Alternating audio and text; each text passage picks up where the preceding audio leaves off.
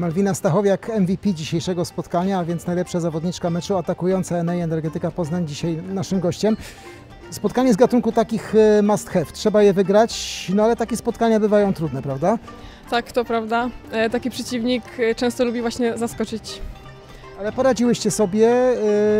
Początek, mam wrażenie, pierwszego seta był odrobinkę nerwowy i początek trzeciego, ale poza tym praktycznie przez cały czas kontro- kontrolowałyście mecz.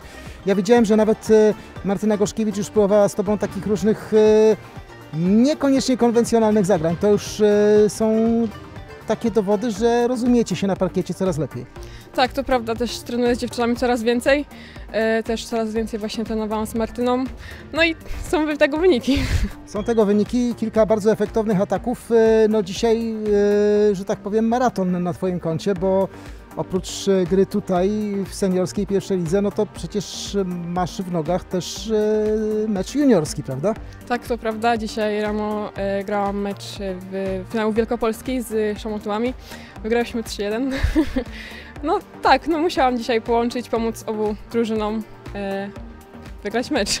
No i udało się to, jak widać, bo tytuł najlepszej zawodniczki spotkania no nie dostaje się tak po prostu, tylko był on jak najbardziej zasłużony, za co też oczywiście czego gratulujemy. Jeszcze wracając do, do Twojej gry z Martyną Goszkiewicz, e, rozumiem, że e, ile czasu tak mniej więcej trzeba, żeby się atakująca z rozgrywającą zgrały tak, że się po prostu rozumieją e, no bez patrzenia sobie w oczy.